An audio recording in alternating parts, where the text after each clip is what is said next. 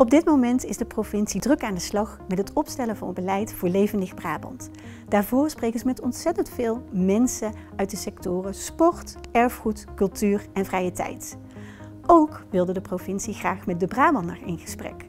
Een gesprek over wat zij zoal in vrije tijd doen en waarom. Hiervoor hebben we Digibytes ontwikkeld. Een concept dat juist in tijden van corona uitgevoerd kon worden.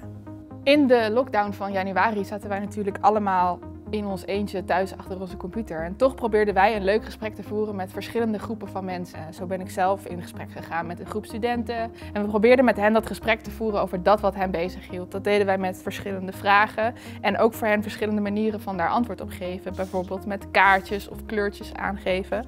En door dat op die manier te doen hebben wij toch een divers beeld kunnen krijgen van dat wat de Brabander bezighoudt in hun vrije tijd en wat zij belangrijk vinden daarin. Waar we ongelooflijk trots op zijn als we terugkijken naar de Digibyte, is het vooral de Brabander die hun stem eh, hebben laten horen. Ze waren dat niet gewend, voor velen was het de eerste keer en dat tijdens lockdown op een digitale manier.